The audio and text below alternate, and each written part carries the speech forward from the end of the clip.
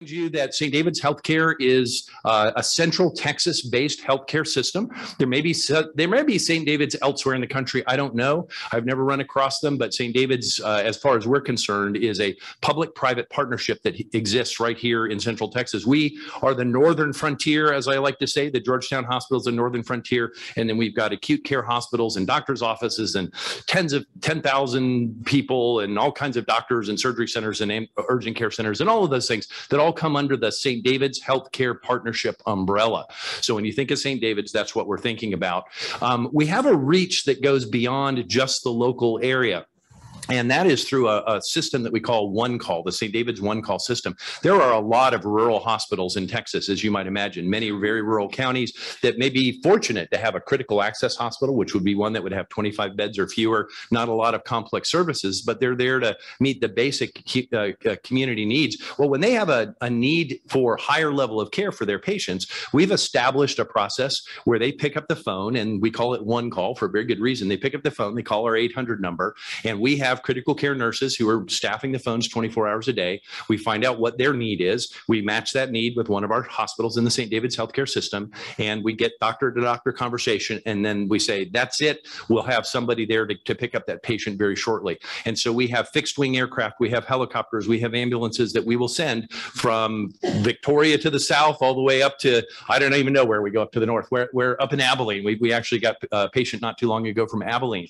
And, um, and we'll bring those patients into our system and we'll take care of them up to the point where they're well enough to go home and be taken care of in their own community hospital for the, the latter part of their care. So it's been a great, great service for this entire region of Texas uh, and, and to make it as simple as we can for them. Of course, closer to home, our hospital, St. David's Georgetown Hospital, um, many of you may know the history of this. It started back in 1917. So we actually had our, our 100th anniversary um, uh, was uh, in, in 2017. And um, it was actually formed by the King's Daughters Group, which is a benevolent organization that that for the long time, even when I got here back in, the, in 2007, they had a um, they had a clinic up in Temple. Uh, you, so you might have heard of the King's Daughters Clinic if you've been around for a little while. And they had actually established a hospital. They called it a sanatorium, and I'm glad we did away with that name. That you know sometimes name changes, you sort of you, you miss the old name. Don't miss the sanatorium name, but they had established it in a building that was right off the campus of Southwestern University. And when the Spanish flu came through in 1918, the first 11 patients in the hospital were um, 11 men, because at the time the school was all men. There were 11 student male students from Southwestern University. And if you read the really awesome history of healthcare in, in uh, Georgetown, um, it, really is credited the fact that they could pull those students out of the, the, the larger population and isolate them in this sanatorium, in this hospital and take care of them was credited with basically no more flu at Southwestern University, despite the fact that it was raging throughout the rest of the country and many, many people were dying. So long-standing history. I like to remind um, the folks at St. David's that Georgetown Hospital is actually older than the St. David's Hospital downtown, which wasn't formed until 1926. So they're the new kids on the block. We've, we've had a hospital in continuous operation since 1917.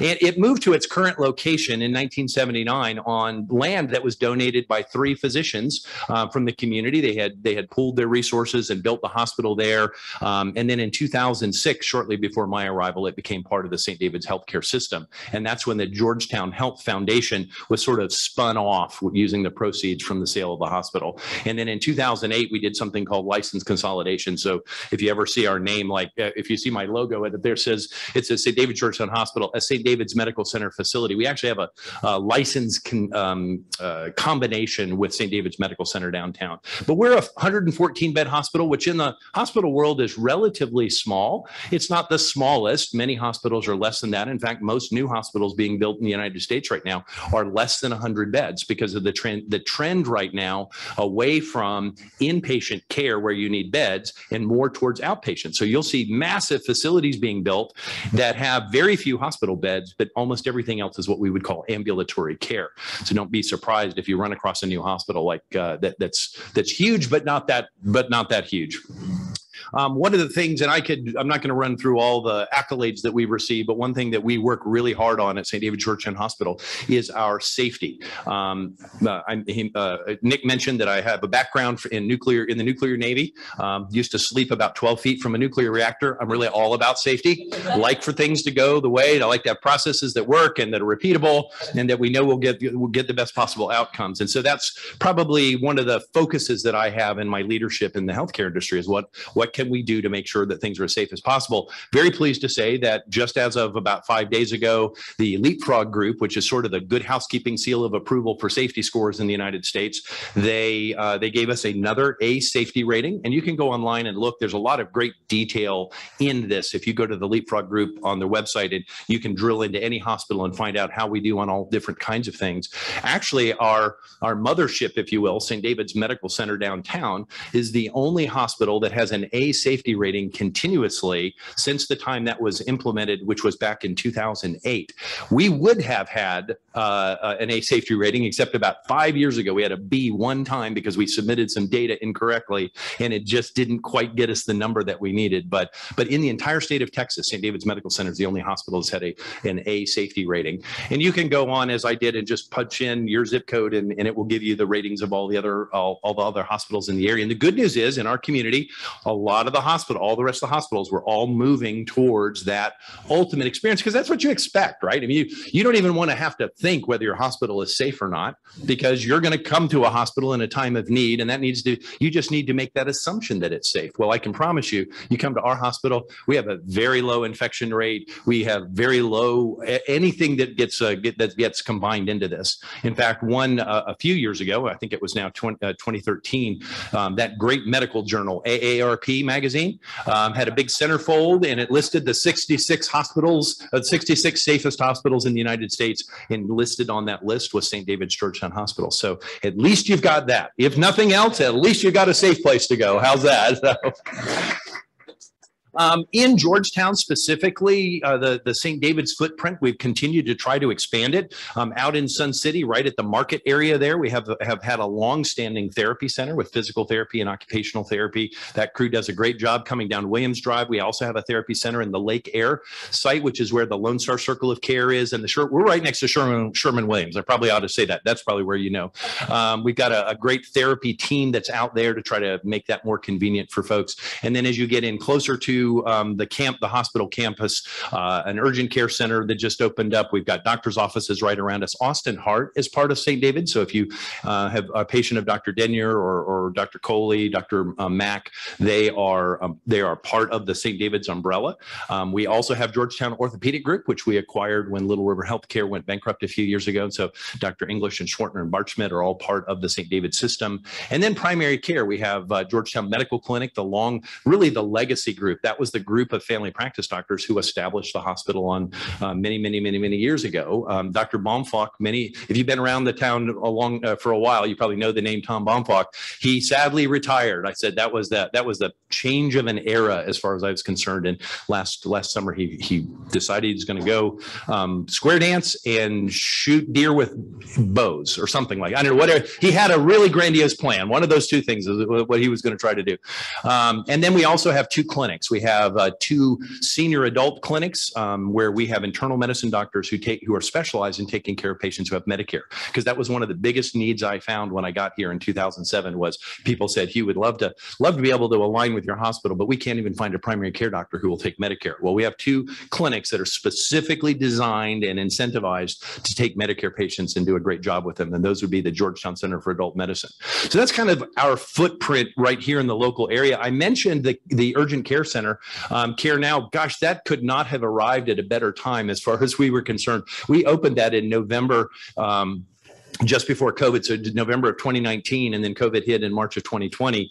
Uh, that has proven to be a great resource for COVID testing, COVID treatment, keeping people from having to come into a hospital emergency department because they can go to a well-run urgent care center just really across the river. If you don't know where that is, it's uh, I think First Watch says where when they describe where they are. If you call them, where are you? They say, well, we're right next to the St. David's Care Now Urgent Care Center. At least I wish that's what they would say. I, I, I don't know that they actually advertise us that way way. But one of the things I'll just point out about the urgent care center is if you, um, they do have extended hours and you can go online uh, and and check in online and they will text you. They somehow the Google Maps or whatever they know how long the drive is going to be. They'll text you when it's time to leave your home so you can walk into the clinic and go see the the provider right away without having to wait in the waiting room. So uh, I hope you never need it, but if you do, the urgent care center is there for you. Care Now Urgent. By the way, St. David's is now the largest provider of urgent care centers in Central Texas. We have 16 under the Care Now umbrella, and I will say they are very well run organizations, and um,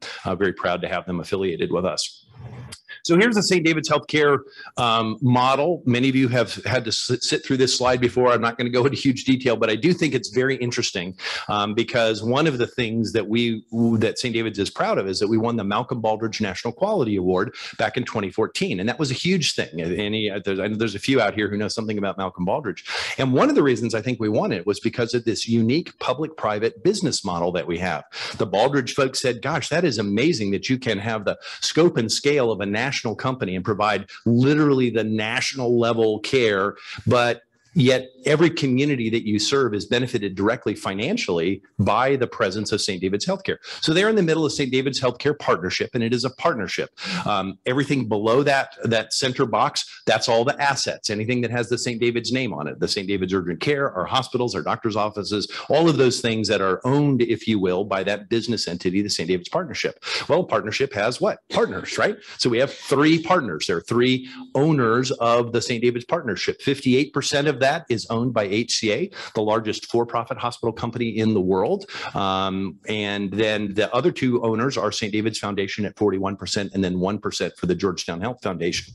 We operate as HCA hospitals. The hospital I came from in South Carolina was fully owned by HCA.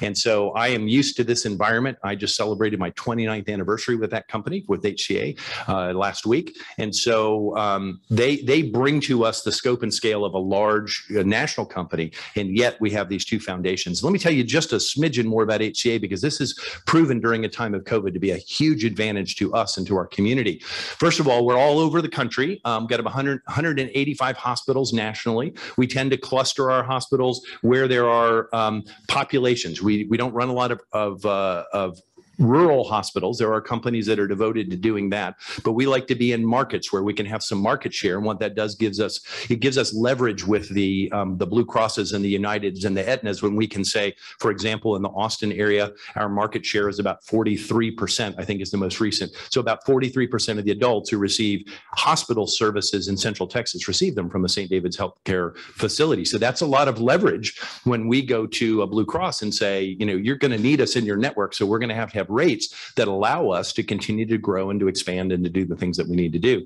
The other nice thing about being a national company is it gives our employees some mobility. So somebody can start here, uh, and this has happened multiple times in the last two years. We'll have a nurse or a tech or somebody is working at our hospital, and they have a need back in Kansas City where their fam- where their family is. They, they feel like they need to move back to take care of an aging parent. Well, I pick up the phone, I call the CEO there, I say, hey, this is a great nurse. Um, I think you should try to find find a place for her. We do that sort of interconnection and they can continue with their vacation balances and 401k matches and all that stuff. So it's a, it gives them a lot of flexibility that they wouldn't have if we were just a locally owned and, uh, and operated um, system. We operate under different names. So like, no, you, I'm telling you HCA, but you probably might not have even ever heard of it before because we don't necessarily, here in town, we're St. David's here in, in Central Texas. If you went down to San Antonio, you would, you would recognize us as the Methodist system, which is another partnership between the nonprofit Methodist and, and HCA. Uh, up in Dallas, all the Med City hospitals have the, they, they're an HCA owned um, entity up there. So different names around the country, but um, all uh, managed centrally out of Nashville, Tennessee. Here's, uh, here's how this has been very valuable. One out of every 18 ER visits in the United States happens in an HCA hospital. That's a big number. That means that if HCA hospitals, ours being one of them, do something to improve the care that's delivered in an, in an uh, emergency department, for example, pre-COVID, um, we had decided that we were going to reduce the average wait time in our hospital for the emergency room visit from, on average, the industry average is about 24 minutes. We were going to get it below 10 minutes, and we did. We actually did. Remember my billboard that had a little clock on there? Some of you have been around a while. Sadly, that had to go away when I was cutting cutting fund uh, uh, my budget for COVID.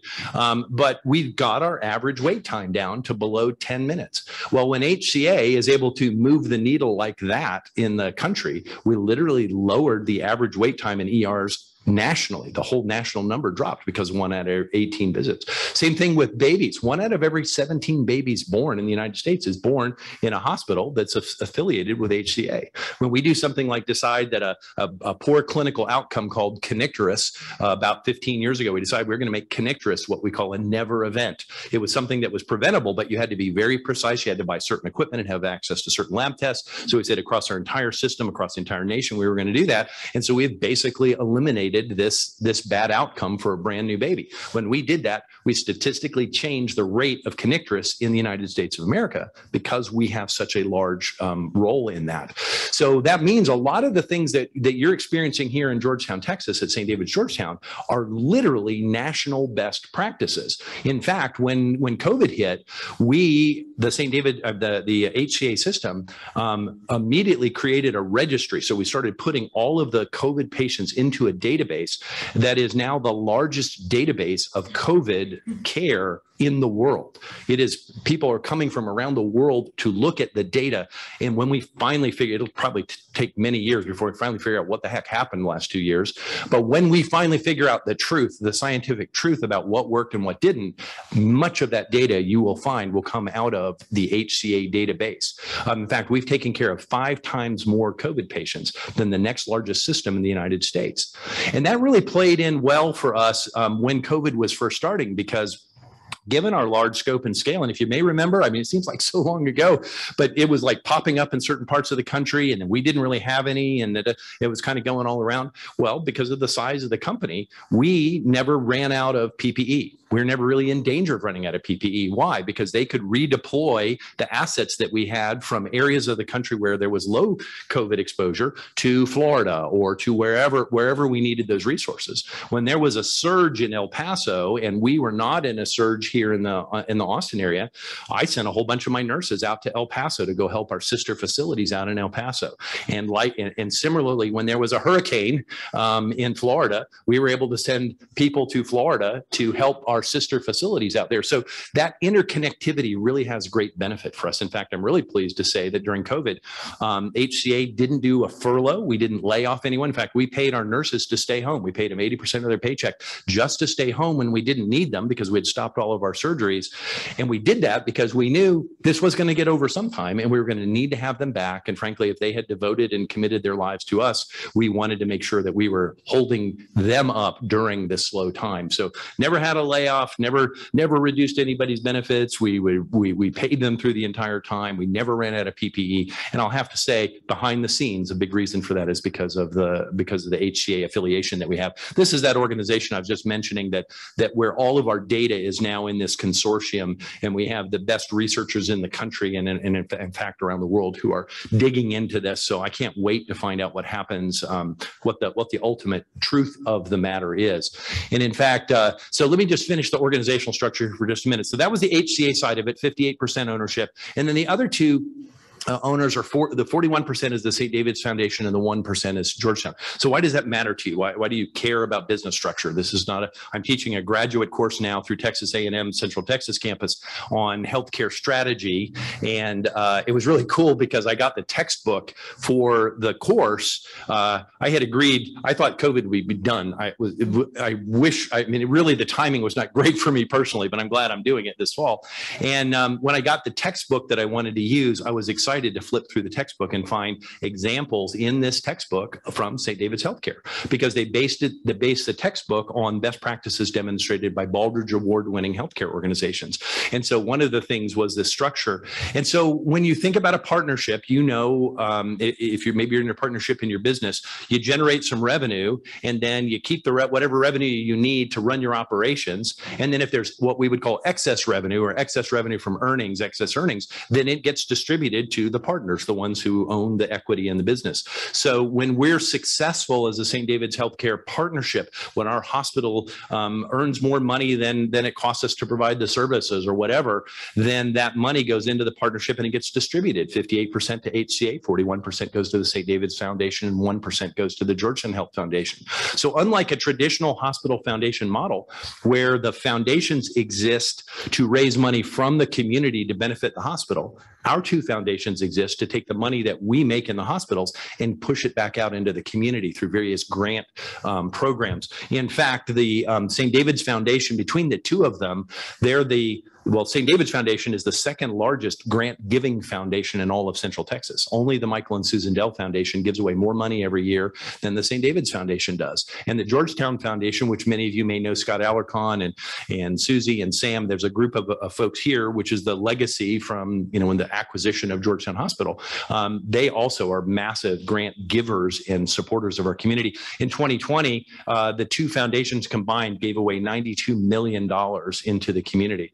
And I'll tell you, as the president of the board of the of the Caring Place, um, when COVID hit a year and a half ago, I wasn't president at the time. Uh, I was the vice president, but we all got we had an emergency meeting. And we said, so what are we going to do? We anticipate a massive amount of of need because people are locked into, into their homes. And yet we have to shut down our store which is our primary source of revenue right? The the um, the store that we run. And we just didn't know what to expect. Well we had had a grant from the st david's foundation of about $250000 to so, somewhere around $200000 that was um, designed was destined to be used for case management. That because you know when you get a grant it's got a specific tag on it. And very quickly into the pandemic the st david's foundation called and said listen all bets are off we're not going to hold you to the requirement for that money. You use that to fulfill your mission, to, which is to provide for the basic, basic human needs of the people in our community. And so we did. We are on a dime. There was a there was almost a quarter of a million dollars of resources that we had. And and I'll tell you, from the caring place, we have given away a lot of food, and the demand just keeps bigger and bigger. So please continue to support the caring place. It's been it's been an amazing thing to watch our community step up and do that. So anyway, so 92 million, 89 million dollars the year before. That is money that's going back into the community, not to directly benefit the hospitals. In fact, it's they can't directly benefit the hospital. It would be recycling the money. And so if I went a new, if I, if I worked at a different hospital, the nonprofit, let's say that that didn't have um, uh, that didn't have this type of arrangement, I would have to, if I needed a new CT scanner, I would just go to my foundation people and say, hey, you know, I need a million dollars to buy a new CT scanner, and they'd find somebody with an extra million dollars lying around, would put a little gold plaque on the side of the CT scanner, and they would buy me a CT scanner. Here, my foundations are not allowed to directly benefit the hospitals. They have to be separate entities because they're taking the money and reinvesting it. So I've got to earn that money for the CT scanner. And while I'm doing that, I'm also putting money into those two foundations. So you may remember Dr. Burger, Ed Burger. He'd been the president of Southwestern University for many years. He is now the president of the St. David's Foundation. And I talk to Dr. Burger on a somewhat regular basis. And I'll tell you, his heart is still in Georgetown. And, and the foundation is very committed to supporting the nonprofit infrastructure in Williamson County. And then, of course, the Georgetown Health Foundation. I know many of you because I just know that this is the way you are. If you're in Georgetown, you're probably involved involved in some cause other than just your business. And if you are, you know the impact that that the Georgetown Health Foundation and the St. David's Foundations have on your two organizations. So, so all that to say, I think it's a. Uh, in addition to that, um, I will, sort of my final little plug for the for our model. Um, when St. David's acquired the hospital, one of the things that happened was um, because we're majority for profit, majority HCA, um, we suddenly became a tax-paying entity. So unlike the nonprofit or nonprofit competitors, I wake up every morning with a tax burden that they don't have. And we brought hundreds and hundreds of thousands of dollars of income taxes and property taxes and other kinds of taxes that previously the city of Georgetown had not realized because it had been a nonprofit entity before that. So there's a lot of reasons why I think our model works well in a community like Georgetown. We provide exceptional care, really high level care, A safety rated care. Uh, by the way. Um, HCA ranks all of our 186 hospitals based on quality and performance and all these things. For this year, all for all but three of the months or four of the months for this year, we've been the number one hospital out of 186 hospitals in the largest hospital company in the country. So So you have the uh, you have uh, you have a, a, good resource in your community. I hope that's I hope I've convinced you of that this morning. Um, so let's talk a little bit about the virus. I just that picture just still creeps me out. I remember when that first came out, I thought that's some bizarre idea of a Christmas ornament, and it is uh, uh, it is still just a weird thing. Um, of course, I, I, mentioned that our our mission, and we knew right from the beginning, with, with the virus is going to change um, the mechanics of what we did, but we're still here in the community to provide exceptional care to every patient every day, and to do that with what I think is the it, the character, the culture of our organization, and that is with the warmth and the friendliness and the personal pride that you experience when you come and interact with some of our staff. And so um, this is the state of COVID right now. This is as of yesterday. One of my favorite visual resources is the New York Times, and if you can look here in the in the uh, the southeastern United States, all that yellow down there, there is we're definitely on the downside for COVID prevalence. However, if you look where the orange and the red are, they are actually going through a surge not dissimilar to what we just came out of in September or uh, August and September, July, August, and September. In fact, right now, um, there's three states in the nation, Colorado being one of them, which is just now implementing something called crisis standards of care. And we never got to that point in Texas, but we were prepared to do that. And if you read about crisis standards of care, what that is, is the you, it, it is a um, an agreed upon standard that a community will have that if you have overwhelmed your hospital resources, there's just no more ICU beds, there's just no more ventilators. These standards of care allow you to then make decisions and say, okay, I have I have two patients down here, both of whom need to go on a ventilator.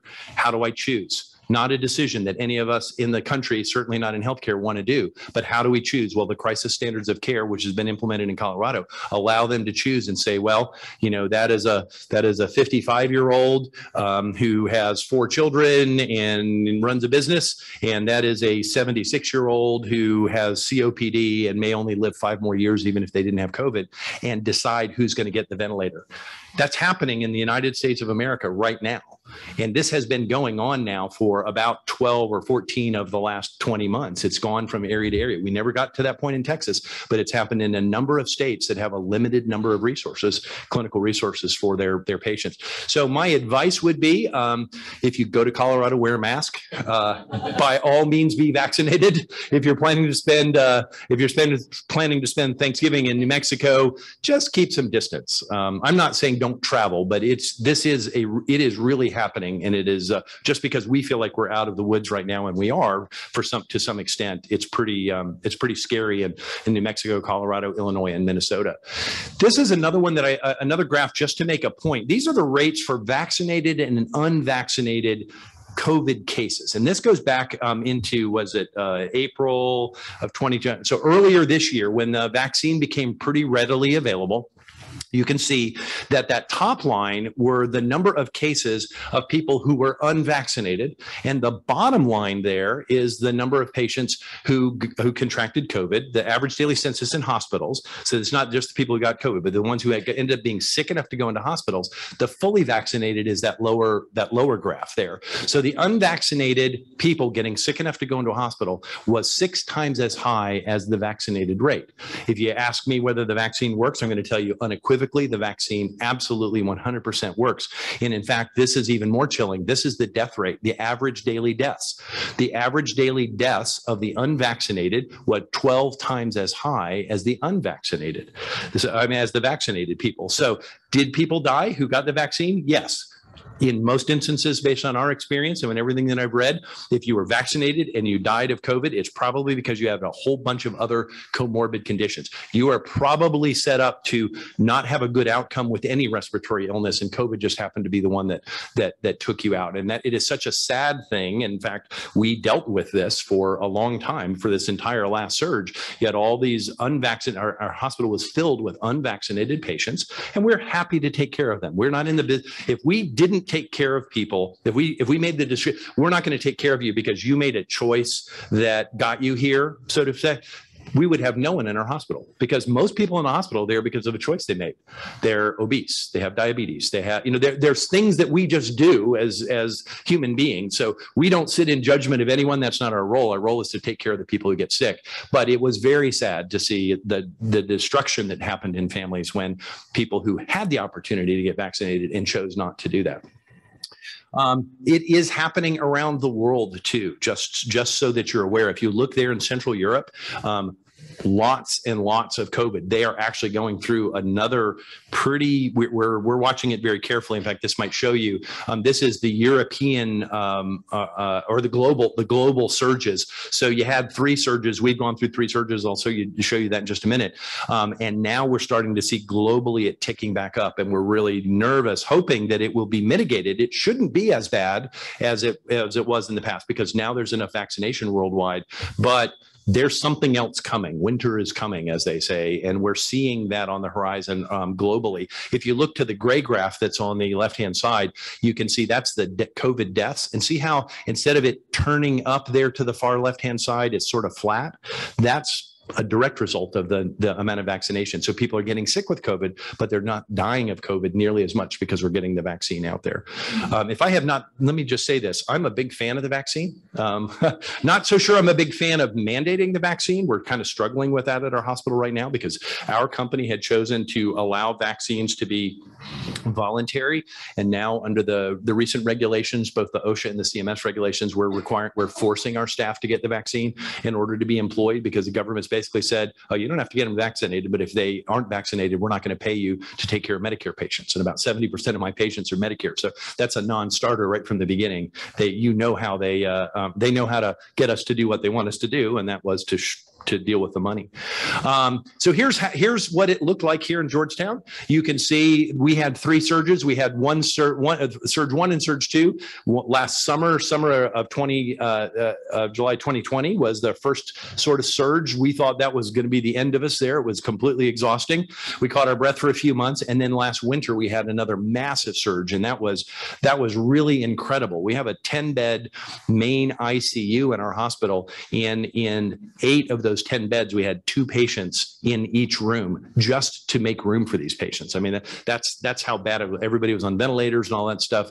Um, and then it slacked off and we thought we were going to be out of the woods. And then all of a sudden at the beginning or the, the middle part of this past summer, right after the July 4th holiday, it started started to peak again. And we got we got this this surge that we're just now coming um, out of.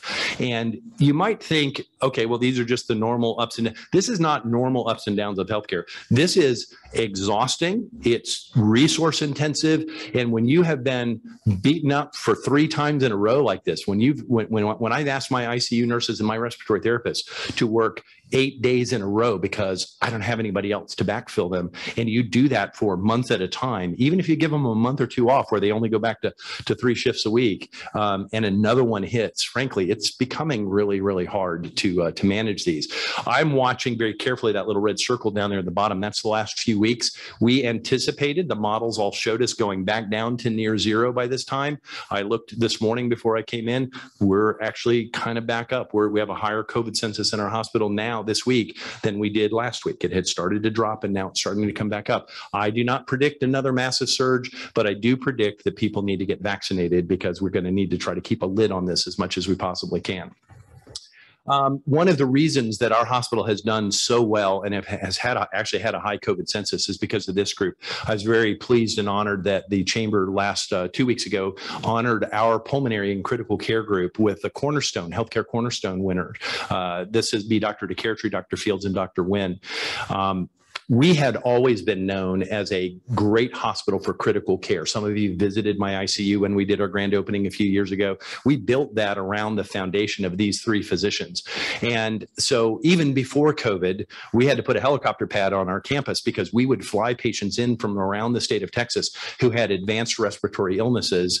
And our doctors were some of the only doctors in the state who could take care of them, who could do interventional pulmonology, pulmonology work. And so when COVID hit, our systems strategy was right off the bat, we didn't know how big it was going to be, but we knew Georgetown Hospital within the St. David system had the ref, had the reputation as being sort of the best for taking care of respiratory illnesses. So we became a um, a hub hospital, and so even the big hospitals downtown, St. David's Medical Center, North Austin Medical Center, if they got a COVID patient in their ER, they would transfer them to us for us to admit and take care of.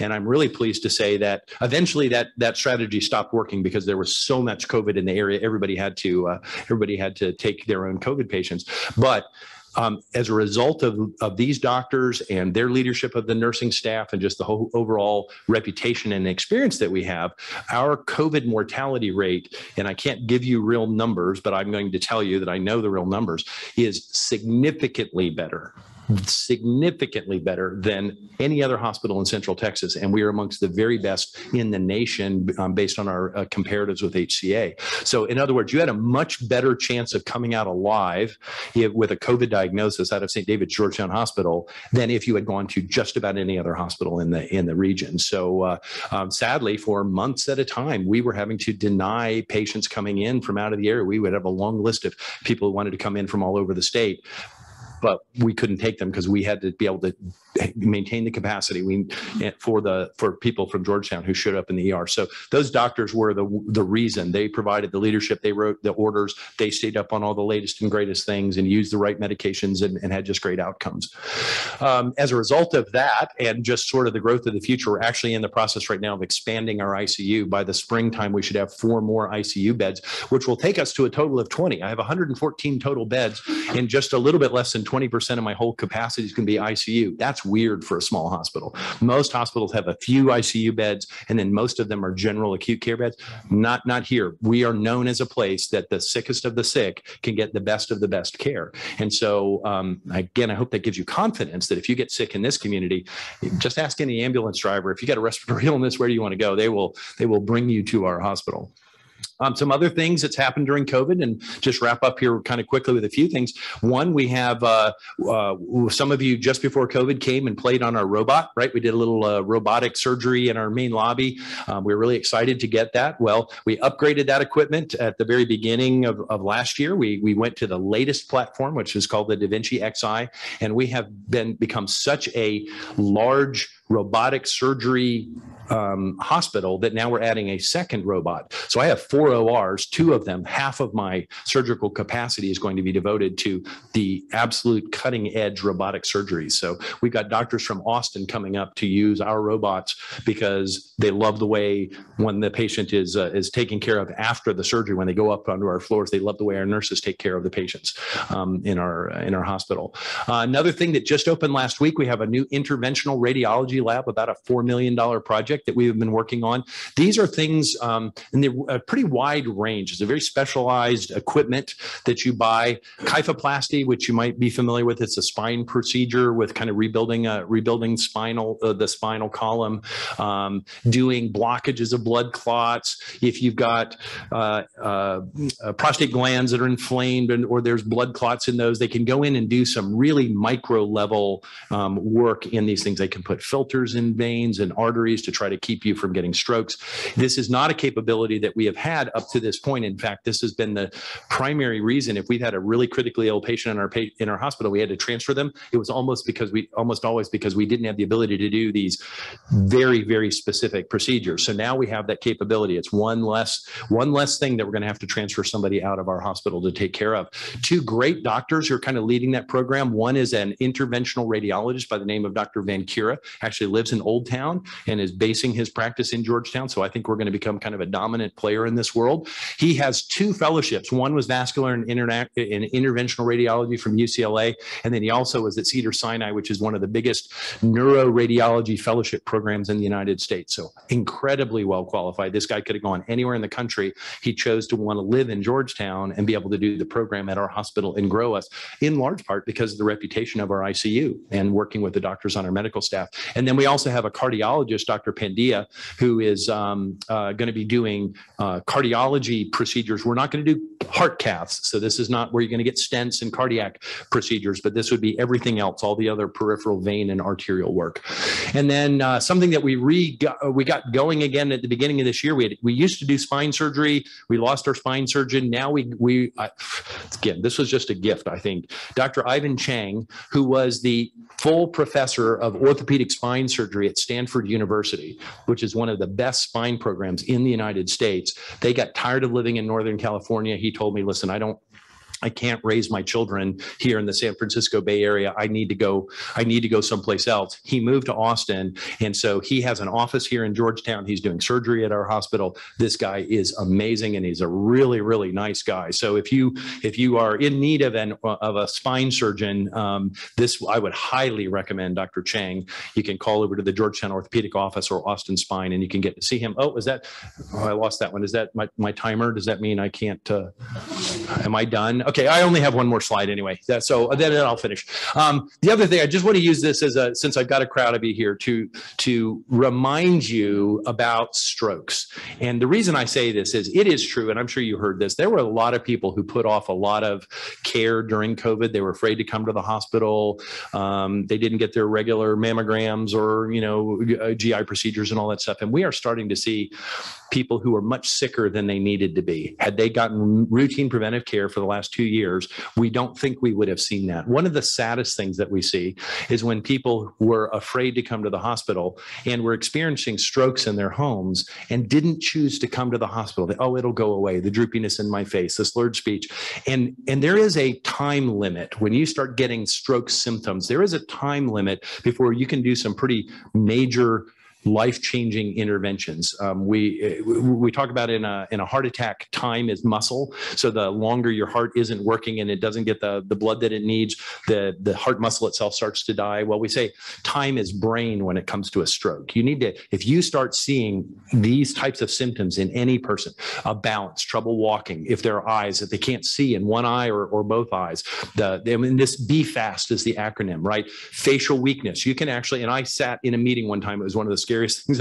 Literally sitting in a meeting with a couple of people across the table from me, and I saw a woman's face ju- just start to droop on one side. And I thought, well, that's really odd. I didn't know if it was makeup. I really was completely weirded out. I'm sitting next to a doctor, and he looked at her and goes, "You're having a stroke." And she goes, "Wrong, wrong." And she was. She was having a stroke, and we were able to get her downtown, get downstairs into the emergency department and take care of her right away. Arm weakness. Um, speech problems, a little bit of uh, slurred speech, the a time a, a bad bad headache that you just don't usually get a headache like that. Any of those symptoms, please, please, please, please, please call 911. If you're and and if you're a wife and it's your husband experiencing those those symptoms and they refuse to call 911 because that's just how we are, um, drive them to the hospital if you have to. I mean, whatever you got to do as quickly as you can, because we have a teleneurology service that we have. We bring a doctor in. That's a that's a piece of equipment where we have a neurologist sitting by 24 hours a day who within minutes can be doing an evaluation, um, and we can get you a CT scanner. And if it's an appropriate thing, we can get you that clot busting drug. And I've watched people and I'm not a clinician, you know me, but I've, I've been down there and I've seen a patient come in by ambulance who was in a full blown stroke. And 30 minutes later, they were having a regular conversation because they got the clot busting drug in time. So don't wait for your care. There's no reason to be afraid of the hospital. We are a very safe, A rated. Did I mention A rated? Um, we are a very safe place for you to come. We're going to get you in very quickly. We're going to take exceptional care of you. And we're going to do it with the way, the Georgetown way, with warmth and friendliness and personal pride. So uh, there, I'm done done. I did it in with four minutes. I know you needed 10 minutes, but uh, you gave me the microphone. Um, but uh, uh, hopefully that was interesting to you and you got a little, you know, update on some things. And uh, could I take one, at least one question? Do I have enough time for one question? One question. One question. All right. Who's got the question of the group? Anybody? Yes. Are y'all gonna be starting a study on the long-term effects of COVID and how it's interacting with, I notice a lot of people in their fifties and stuff, uh, Yeah, so she's asking a question about um, about long COVID and long term effects. Yes, there's a lot of longitudinal studies going on, and the good news is the database that we have of people who are diagnosed and came in the hospital, we'll be able to track those through the system for a while. So I think that's going to be that's going to be the future of COVID. Is we're going to try to figure out what does this mean for us in year two, in year three, in year four, and year five, and I think it's going to be a little more devastating than we had hoped. It's not it's not the flu. It's well, it's well worse than that. So anyway, so thank you very much. I appreciate your attention.